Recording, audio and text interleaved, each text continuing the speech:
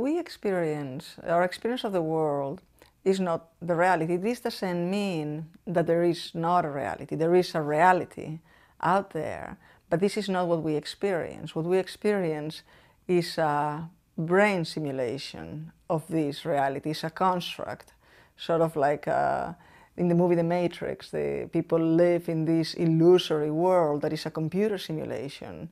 And we all live in this illusory matrix as well that our brain creates for us. And this is the only thing that we interact with, this simulation, not the real world.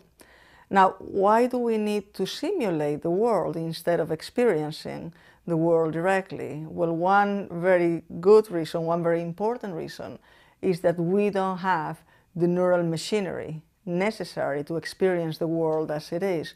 We cannot sample every little portion of the world, every little pixel in the scene, so to speak. Uh, to do that, our brain would have to be the size of a building and it wouldn't fit in our head. The, size of a building wouldn't be enough to experience reality as it is. So we don't have uh, the same density of uh, photoreceptors uh, all in the retina if we just think uh, about it from a vision perspective. If we extend our arm and look at our thumbnail, that's the only area in the whole visual field where we're not legally blind. It's the only place in the scene where we can see with high detail. And this is just from a purely visual perspective. But when you bring attention into the equation as well, then what we end up perceiving and experiencing is that that we attend to, and we only attend to a very small portion of the world as well. And not only that, but everything that we're not directly attending to, the brain is actively suppressing. So when we attend to something, that doesn't mean that we're enhancing that part of the scene. It means that we're actively suppressing everything else.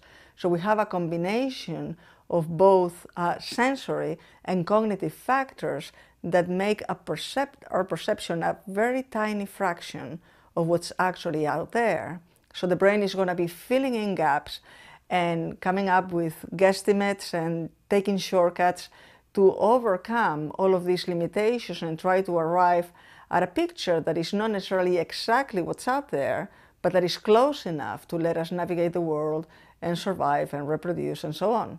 So in coming up with these shortcuts to deal with these limitations, a lot of the times we get it right or close to right, but a significant fraction of the time we get it very wrong. And these are the spectacular illusions that I was mentioning earlier, but we have uh, far less spectacular illusions that are nevertheless mismatches between perception and experience, and we uh, have this all the time Uh, every hour, multiple times an hour on a daily basis. And we're so used to dealing with them that most of the time we ignore them.